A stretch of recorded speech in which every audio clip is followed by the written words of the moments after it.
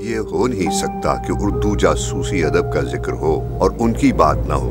उर्दू अदब की तारीख में इब्न सफ़ी का नाम ख़त्म नहीं हो सके।